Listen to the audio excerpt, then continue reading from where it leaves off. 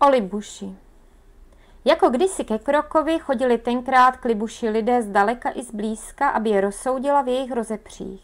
K její moudrosti se uchylovali a žádali ji o rozsudek. A ona spravedlivě soudila, činila moudrá narovnání sporných stran. V onen čas se dva sousedé, oba starostové rodu, přeli o meze a pole. Zuřivě se hádali, hanili nejen sebe, ale i své předky, vyčítali si tak, že pominula dobrá vůle sousedská mezi jejich rody. Vstoupila mezi ně nesmírná zášť. Žádný ve sporu nechtěl ustoupit, každý byl jako skřemene. Když nastal čas, kdy kněžna zasedala u soudu, oba chvátali na Vyšehrad. Tam Libuše s bělostným věnečkem kolem čela seděla pod košatou lípou na vyvýšeném, kobercem pokrytém stolci a soudila. Vedle ní nalevo sedělo dvanáct kmetů, napravo pak dvanáct hospodářů nejmocnějších rodů, mužů statných i s bílými bradami.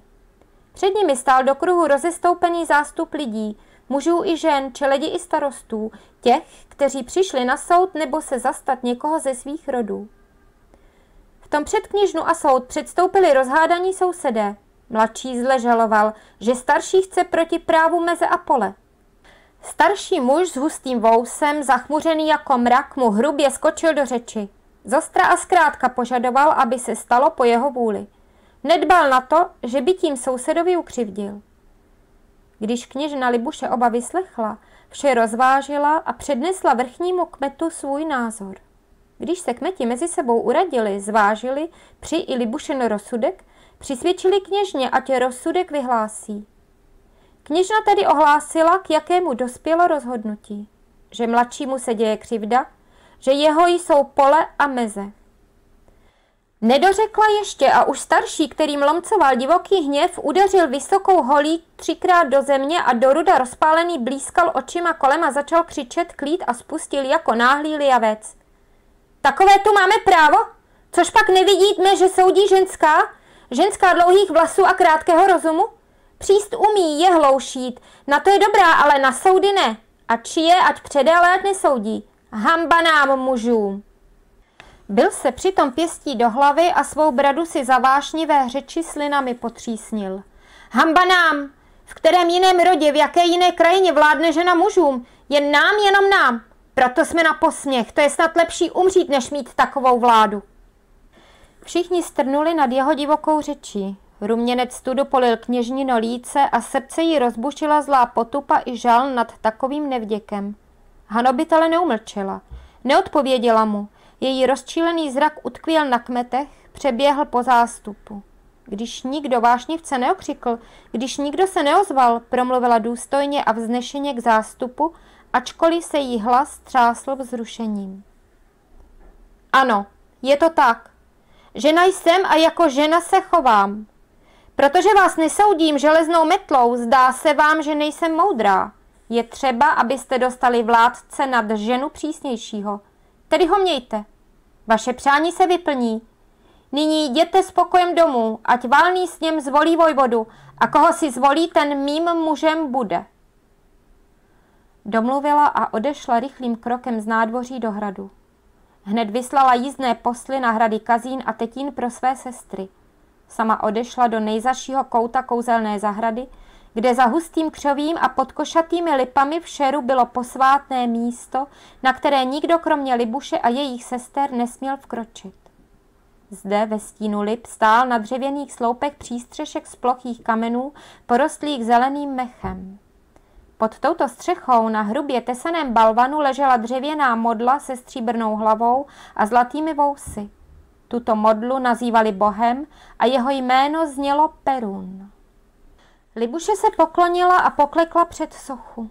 Pak usedla pod balvan k nohám modly a zůstala zde po celý zbytek dne i přes západ slunce, kdy už se pod stromy smrákalo a večerní vítr se proháněl větvemi i křovinami. Seděla v zamyšlení, nehnutě, vypadala jako socha.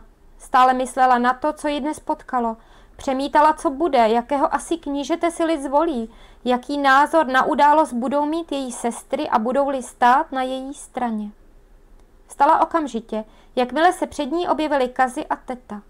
Správce hradu, hned obě kněžny, jakmile dorazili na hrad, doprovodil od brány až k zahradě. Dál pod stromy však nevstoupil. Zůstal stát na stráži u vchodu a čekal. Co všechno Libuše sestrám vyprávěla, z čeho se jim vyznala, o čem všechny tři věšteckým uměním nadané kněžny jednali a na čem se domluvili u Perunovy sochy, se nikdo nedozvěděl. Letní noc se už chýlila pomalu ke konci, nebe za hradem bledlo, nad jeho sruby, hradbou a stromy pomalu začalo svítat, když jejich rozmluva skončila. Ve chvíli, kdy vanul nádvořím chlad počátečního jitra, vraceli se krokovi dcery zahradou k hradu. Mezi svými sestrami, jejichž vlasy zakrývaly roušky, šla Libuše s bělostným vínkem kolem čela. Klidně a soustředěně upírala zrak přímo před sebe. Prošly mlčky jako stíny kolem správce hradu, minuli ho beze slova a on jen udiveně hleděl za nimi. Viděl, jak míří ke schodům, které vedou k velké síni, stoupají po nich a mizí mezi mocnými sloupy balkonu, který byl ještě zahalen stínem raního šera. Hned z rána vyslala Libuše posly, aby schromáždili veškerý lid k valnému sněmu. Když bylo po hlavních žních a určený den nastal, sjelo se a sešlo velké množství mužů všech rodů. Starostové, čeleť, staří, mladí, na, kon, na koni pěšky, v čapkách i v suknicích, v pláštích i bez nich. Mnozí sebou nesli své zbraně, meče a luky, někteří měli na hlavách přilbice, neboť cesty pustinami a hvozdy nebyly vždy bezpečné. Dorazili všichni zblízka i zdaleka, dokonce až z nejzaších koutů země, od hranic zličínských a pšopských, které ležely směrem na východ slunce, další ze strany půlnoční, kde sousedili s hrdým lučanským rodem a s litoměřici, také přispěchaly rodiny od strany polední, kdy se chodilo k netolicům a doublebům. Přichvátali i lidé od širých lesů, rozkládajících se za Krokovým hradem a Stebnem, kudy vedla cesta k domažlicům a tak dál do Němec a země bavorské.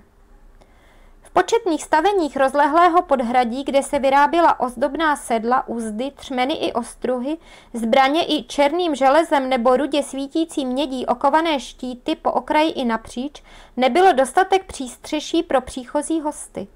Jejich koně stály uvázáni u plotů či pod stromy. Hlučno bylo v podhradí, veselo bylo na břehu řeky Vltavy. Známí a příbuzní se radostně vítali, o úrodě a honech, bojích a půdkách si vykládali. Nejvíce se však hovořilo o sporu dvou z nesvářených vladyků, soudu Libušině a o tom, co nyní bude a koho zvolit za vojvodu. Když se přiblížila chvíle sněmu, hlasitě zatroubili ze strážných srubů a muži se hrnuli jedním proudem vzhůru k Vyšehradu. Průvod se trošku zbrzdil až před hlavní bránou mezi dvěma sruby. Tam každý pozvedl hlavu a s úžasem hleděl na mohutnou kančí hlavu, jež byla na trámu přibyta. Ukazovali si ji a jméno Bivojevo šlo od úst k ústům, vždy s úctou a pochvalně vysloveno bylo. Dál se pak zástup mužů hrnul vysokou branou a zarazil se až na širokém nádvoří před knížecím stolcem. Vedle něho stály dvě čestné stolice, jedna vpravo a druhá vlevo. Na ně usedly po boku Libušině její sestry, Kazy a teta. Všichni příchozí se kněžně hluboce poklonili. Kněžna jim kinula a pak vážně ze svého stolce k ním promluvila. Jistě jste slyšeli, proč jsem vás, lechy, vladyky a všechen národ sem svolat nechala. Svobody si vážit neumíte. Poznala jsem to i zakusila. Z vnuknutí bohu jsem oznámila, že už vám vládnout nebudu, protože ve svém srdci toužíte po vladaři muži. Toužíte po vojvodovi, jež bude svévolně bránit i vaše syny a vaše dcery do svých služeb, který si vezme z našeho skotu i koní ty nejlepší kusy dle své libosti. Sloužit chcete, jak jste dosud nesloužili. Daň odevzdávat chcete, ať vám bude teskno i hořko. Ale nebudete mít tu hambu, že vám vládne žena. Nechci vás strašit, vše, co teď říkám, mi vnukli bohové, také vše ve věžbě spatřili mé sestry. Volte vojvodu moudře a obezřetně, neboť snadné je vládce dosadit, ale těžké je dosazeného pak sesadit. Stojíte-li si za svými názory, vše se vyplní. Žádáte-li o radu? Ráda vám poradím a oznámím vám jméno Vojvodovo a místo, kde ho naleznete. Oznám! Oznám! Poraď! Poraď!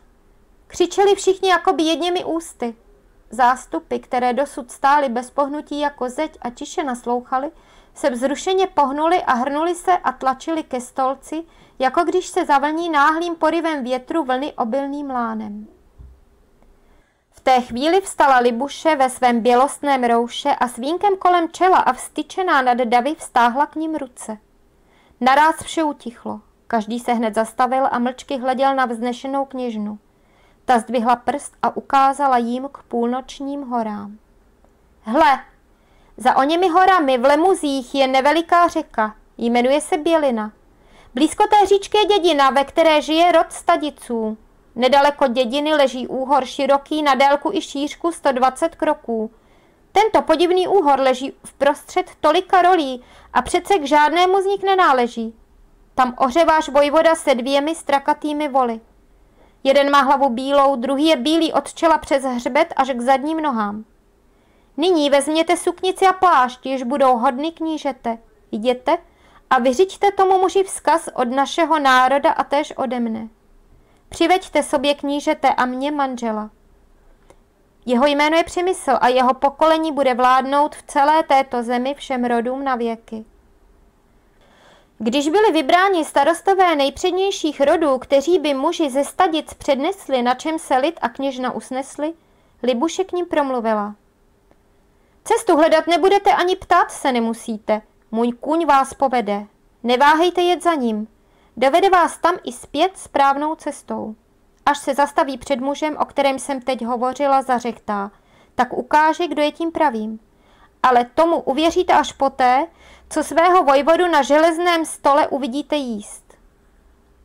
Libuše pokynula a byl přiveden její kůň, bělouš se širokým krkem, ze kterého hustě splývala dlouhá hříva. Měl ozdobné sedlo, pod sedlem kosmatou kůži a na širokém náprsníku se mu leskly bronzové kotouče a ozdobné pecičky. Jakmile mu na sedlo naložili suknici a plášť, vyskočil. Vladické poselstvo se za ním rychle vydalo na cestu.